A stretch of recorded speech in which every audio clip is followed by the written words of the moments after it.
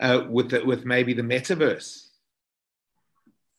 Well, you know, I've been people have been pressing me on this metaverse thing, and I still I, I just recently got one of the Oculus products uh, because some of my friends are insisting that I have to experience this amazing virtual world. And I'm sitting here thinking, wait a minute, for the past two years, we hated being forced. If I can get this thing out of my pocket here.